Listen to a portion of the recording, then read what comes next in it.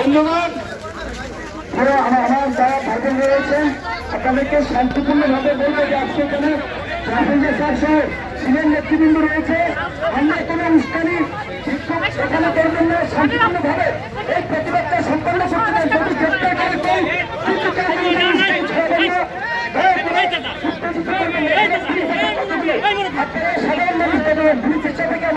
সংঘর্ষ করা উচিত হবে উচিত হবে না সুতরাং কোন ধরনের বিশৃঙ্খল বক্তব্য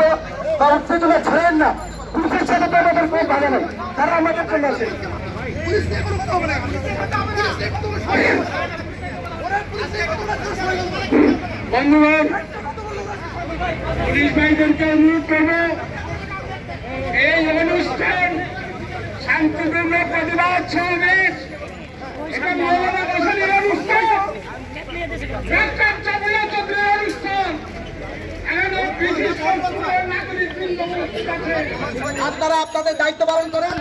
আমি সকল কর্মীদের আহ্বান জানাই, আপনারা এখানে শান্তিপূর্ণ সমাবেশ করবেন।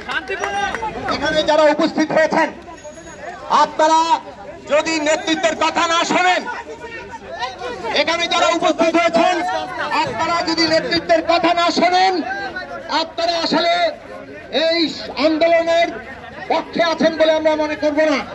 কাজেই যারা এখানে উপস্থিত হয়েছেন তাদের প্রত্যেককে আমি বলব, যা নির্দেশ নেতৃবৃন্দ দেবেন, নির্দেশ শুনতে হবে। নির্দেশ শুনতে হবে। সমাবেশ শান্তিপূর্ণভাবে চলবে এবং এই সমাবেশে ডাক্তার জাফরুল্লাহ চৌধুরী বক্তব্য রেখে শেষ করবেন। বন্ধুগণ, আমরা পরিষ্কার করে বলেছি, স্বাধীনতার পঞ্চাশ বছর পূর্তি উৎসব হচ্ছে। এই পূর্তি উৎসবে রাষ্ট্র কর্মসূচি নিয়েছে। নানান অনুষ্ঠান করবেন। বিদেশিদের আমন্ত্রণ জানিয়েছেন। তাদের মধ্যে ভারতের প্রধানমন্ত্রী নরেন্দ্র মোদীকে আমন্ত্রণ জানানো হয়েছে। আমরা বলেছি, অতিথিদের কাকে বাংলাদেশের মানুষ স্বাগত জানাবে, কাকে জানাবে না, এটা বাংলাদেশের মানুষের অধিকার। আমরা বাংলাদেশের অনেক মানুষ, সংখ্যাগরিষ্ঠ মানুষ আমরা মনে করি যে তারা নরেন্দ্র মোদীর বাংলাদেশের এই পঞ্চাশ বছর পূর্তি উৎসব উপলক্ষে আগমনকে স্বাগত জানাচ্ছে না। কারণ তার যে নীতি, সেই নীতি দক্ষিণ এশিয়া ব্যাপী। একটা সাম্প্রদায়িক বিদ্বেষ বিভাজন সৃষ্টি করছে। তার দল বাংলাদেশের বিরুদ্ধে নানান বিদ্বেষ প্রচার করেছেন। আমরা তার শান্তিপূর্ণ প্রতিবাদ জানাচ্ছি।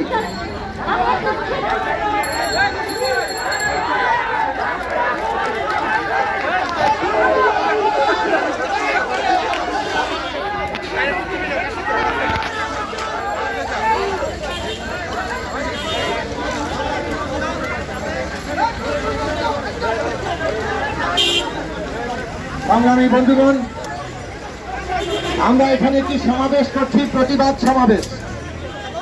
আমরা একটা সমাবেশ করছি। ডাক্তার জাফরুল্লাহ চৌধুরী এখানে উপস্থিত আছেন, সিনিয়র সিটিজেনরা উপস্থিত আছেন। আমি পুলিশ বাহিনীর দায়িত্বশীল কর্মকর্তাদের কাছে অনুরোধ করব আপনারা শান্তিপূর্ণ সমাবেশটিকে পরিচালনা করতে দিন।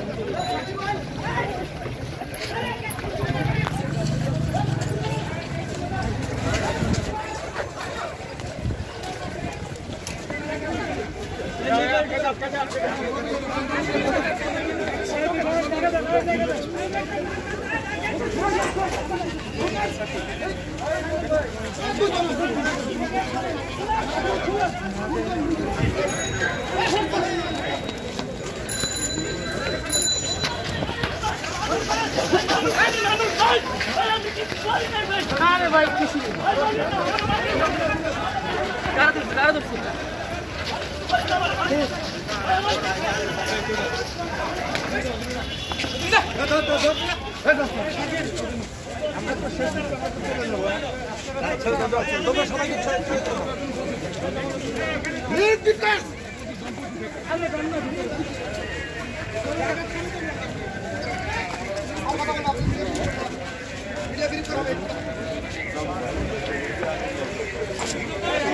আচ্ছা প্রথমত হচ্ছে আপনি যেটা বলেছেন আমার এই থেকে আরেক ভাই যে প্রশ্ন করেছে যে প্রথম ওই উত্তপ্ত বাক্য বিনিময়ের প্রশ্ন এসেছে আপনারা জানেন আমরা স্বাধীনতা সুবর্ণ জয়ন্তী পালিত হচ্ছে সেখানে বাংলাদেশে বিদেশি মেহমান আছে।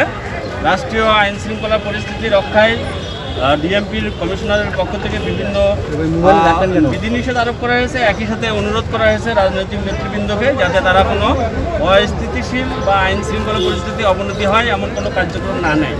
আমরা মূলত তাদেরকে সেটাই বলেছি যে আজকের দিনে অন্তত কেউ যেন কোনো রকমের উচ্ছৃঙ্খল আচরণ অথবা কোনো নাশকতামূলক কার্যক্রম না করে, সেটাই তাদেরকে বলা হয়েছে। সেটাতে আপনারা যেভাবে বলছেন, আমরা কিন্তু ওইভাবে কোনো বলি নাই যে তাদের সাথে উত্তপ্ত বাক্য নেই। তাদেরকে জানানো হয়েছে যে তারা শান্তিপূর্ণভাবে সমাবেশ শেষ করবে এবং শেষ- করে চলে যাবে।